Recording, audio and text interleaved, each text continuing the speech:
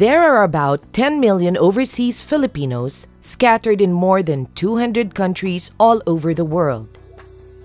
And the numbers of those living and working abroad are still growing. The remittance sent to the Philippines through official channels is more than 20 billion US dollars. There is no doubt migration has raised the standard of living of the overseas Filipinos and their families. They are able to build their dream houses. They can send their children to school and give their families the luxuries of life. While overseas Filipinos' remittances greatly contribute to the Philippine economy and have positive effects on the migrant families, we cannot neglect the negative impacts of migration.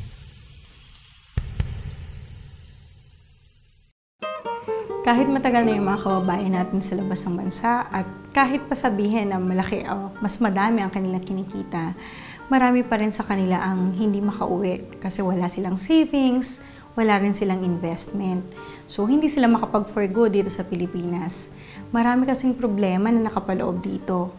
Yung mga anak nila, karamihan hindi nakakatapos sa pag-aaral. Yung iba naman, maagang nagkakaasawa.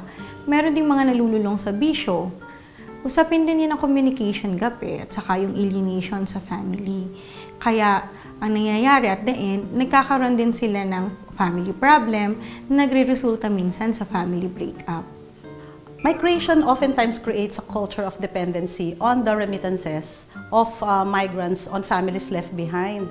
Kasi ang nangyayari kapag merong naka-abroad, yung mga pamilyang naiwan, hindi na nagtatrabaho, umaasa na lang sa perang padala galing sa abroad.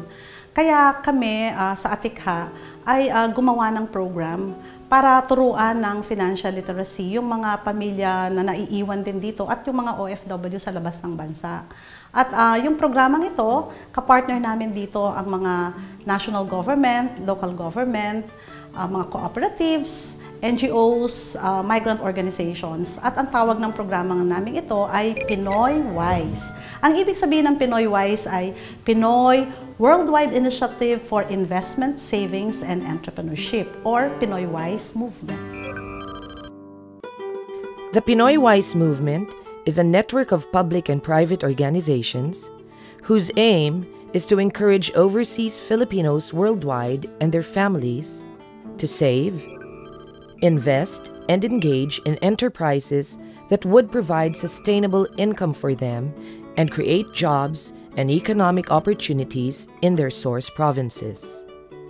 Pinoy Wise advocates for the overseas Filipinos and their families to be wise. Maging wise sa pamamahala ng pera. Maging wise sa pangangalaga ng pamilya Pinoy Wise conducts financial literacy training of trainers among migrant leaders abroad and partner organizations in the Philippines to be able to provide the Pinoy Wise Family and Income Management course to overseas Filipinos and their families in the Philippines. In Pinoy Wise, the Union of Local Authorities of the Philippines, as the league of all local government units and all locally elected officials in the country, we come in to provide assistance to local governments to mainstream migration and development into their processes. That means two things. Una, on the local economic development side, readying the systems, the policies, and the opportunities in the provinces na maaari nating maialay, mailako sa ating mga migrante at sa kanilang mga pamilya dito na kung meron kayong extrang pera uh, coming from your work at yung mga remittances, this is where you can spend it. Diba? At hopefully, it can fuel agricultural growth or local industries and yung priorities ng provinces and municipalities on the ground. And the other hand is, of course, these are migrants who are far away from their families and they want services to be delivered to their families. We're talking about um, values education, health education, um, etc.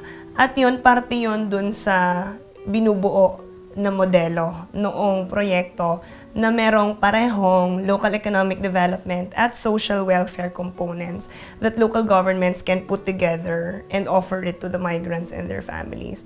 So ang take naman doon ng local governments is that the more empowered migrants are and the better they understand local economic opportunities, they fuel also the growth kung nasa saan sila nanggaling. Pinoy Wise involves not only the government but also the private sector. And uh, Atikha acts as the coordinator of the private sector in Pinoy Wise. We partner with the largest agri-based cooperatives in the Philippines like SIDSI and also with other financial institutions and help promote them to the overseas Filipinos and their families. Uh, kaysa kasi natutulog sa less than 1% ang mga pera nila sa mga bangko ngayon, ay tinuturuan namin sila na ilagay ang pera nila sa mas malaki ang kita. We teach them to diversify their investments. The strategy of Pinoy Wise is partnership building. Converge, coordinate, and complement the efforts of different partner organizations to provide economic and social services to the broadest number of overseas Filipinos and families in destination countries and source provinces. Pinoy Wise network organizations provide ladderized programs and services to overseas Filipinos and families. Financial education through Pinoy Wise Family and Income Management course. Address family and financial issues through family and financial counseling.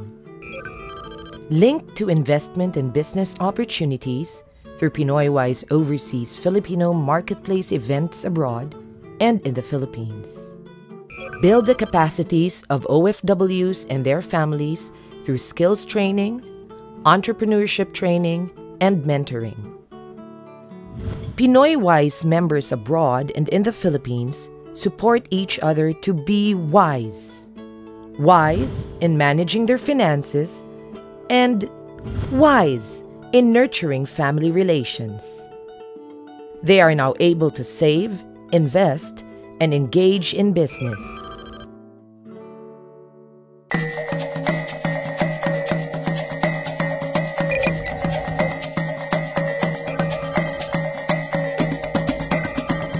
Ang Pinoy Wise ay offshoot na aming financial education campaign sa Italy. This is our project with International Fund for Agricultural Development Financial Facility for Remittance. Nung una akong nag-attend ng financial literacy ng Atikha, ang sabi ko, bakit ngayon lang ito nakarating sa amin? Mula noon, ako ay natuto ng magsabi ng hindi sa walang katapusang panghihingi ng aming mga kamag-anak sa Pinas at natuto din akong mag-ipon para sa aking pagtanda. Kaya hindi rin namin nakalimutang ituro sa mga bagong henerasyon ang importansya ng pag-save at pagkatapos mag-invest para sa kanilang kinabukasan. Napakaganda ng initiative na to. Kaya kami sa ACFIL, Associazione Culturale Filipina del Piemonte, ng Turin, Italy, ay nag-member ng Pinoy Wise. Nakikita ko na malaki ang naging pagbabago sa amin. Dati, karamihan, walang investment ang mga taga Torino.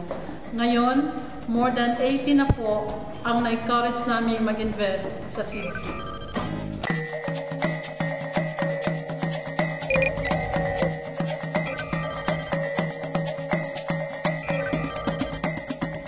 Nakausap ko po ang mga taong nasa likod ng Atikha at napa, naikwento ko rin po ako nangyayari sa mga Filipinos dito sa United Arab Emirates. Sabi ko, ay tama, yung kanilang Family and Income Management course ang isa sa mga kasagutan para po ang isa sa kanilang mga problema which is indebtedness po ay masagot.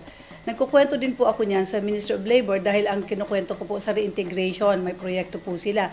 And suddenly naisip na nila ng Minister of Labor ng United Arab Emirates na imbitahin nga po ang Atika. Pero hindi lang Philippines. Kasi nga po may pag-aaral din sila. So naisip nila isama lahat ang five Asian labor origin countries na top dito which is India, Pakistan, Bangladesh, Philippines, and Sri Lanka. So, pagkatapos po, no, naisip ko rin pati na may connection yan sa Economic Diplomacy Program ng aming Department of Foreign Affairs, which is part of our three pillars, which is to promote uh, anything that can lead to development. So, ang naisip ko po, yung mga remittances, we are the third largest remittance receiving country in the world, ay mapupunta po sa development. Kaya po, nandito po ngayon ang Pinoy Wise movement sa United Arab Emirates, thanks to the Ministry of Labor ng United Arab Emirates, and now thanks to the Filipino community under the Bayanihan Council and the other partners. Sa pagiging active trainer ko sa Pinoy Wise, nakita ko na ang training ay kapaki-pakinabang sa ating mga OFW dito sa UAE. Kung ang ating mga kababayan ay malalaki ang sweldo, natuto silang gumastos ng todo dahil sa credit card. Pagkatapos ng training, medyo nawala na ang kanilang pagiging gastador. Nagiging conscious na sila sa pagsisave. Yung iba nga nakapag-invest na at marami na ring nakapagsimula ng kanilang business.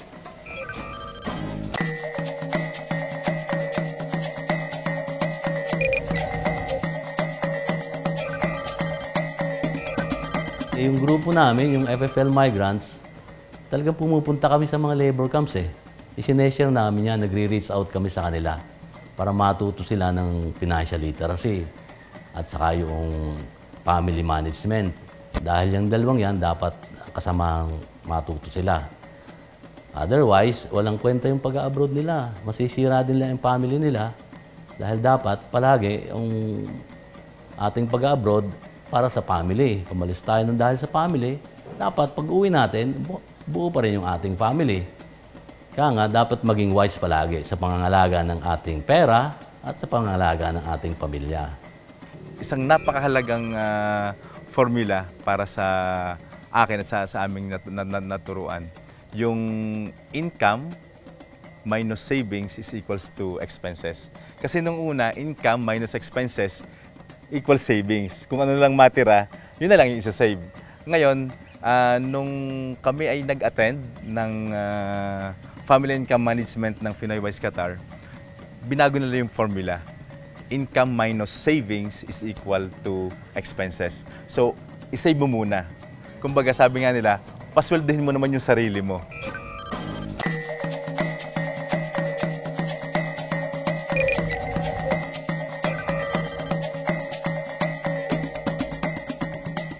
Ako ay isang asawa ng OFW.